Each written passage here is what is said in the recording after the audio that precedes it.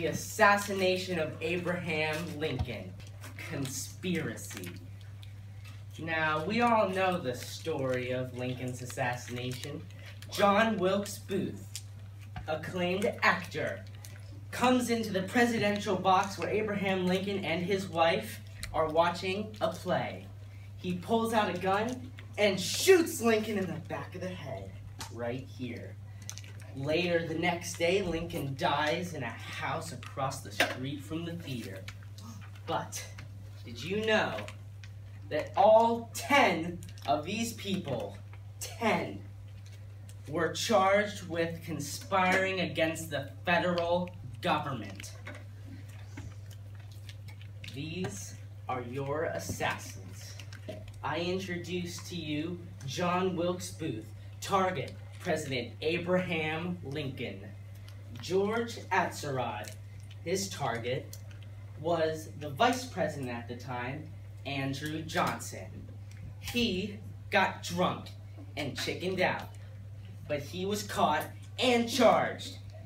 This good-looking young man right here is Lewis Powell. His target, Secretary of State William Seward. He enters Seward's home in the middle of the night, pulls a gun on Seward's son, and what happens? It doesn't fire.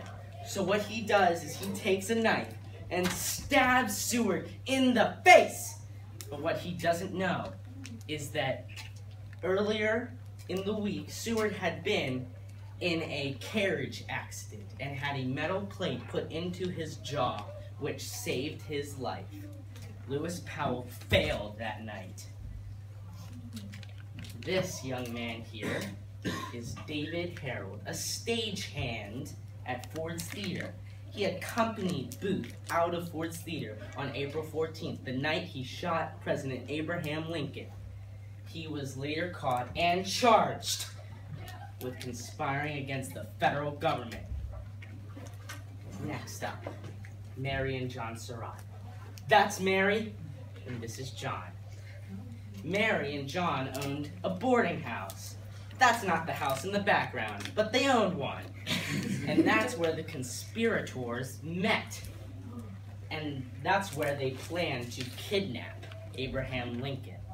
Originally, they would kidnap Lincoln and exchange him for prisoners of war. And John Surratt Did everyone was in in the Abbey. in the original No, I didn't get one. the original plot to kidnap the president. They were both charged, and Mary especially was executed. Here's a controversial topic. Dr. Samuel A. Mudd with two D's. Dr. Samuel A. Mudd is a doctor. When Booth jumped out of the presidential box at Ford's Theater that night, he broke his leg. So where did Booth go? To a doctor. This doctor, Dr. Samuel Mudd. Mudd set Booth's leg, which allowed Booth to continue on into the night. Now, it's controversial because Mudd was charged with aiding a criminal. The controversy is, did he or did he not know what Booth had just done? He was charged and sent to a prison in the Gulf of Mexico. He was later released under orders of President Andrew Johnson. Next, Edmund Spangler, another rather controversial topic. Edmund Spangler also worked at the theater. He knew Booth personally.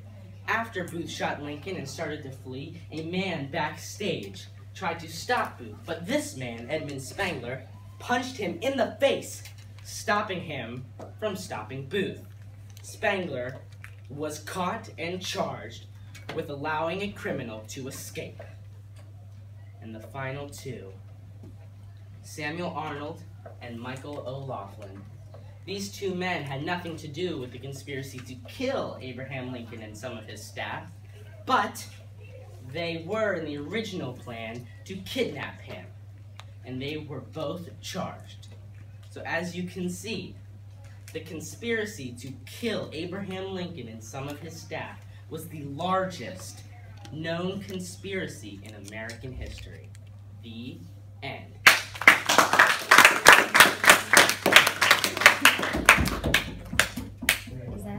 Alright, now I'm on Club Goals. Alright, the Apple TV, man. Enough time. Wait, no, did you really not just switch it? Cole, give me a popsicle! Okay.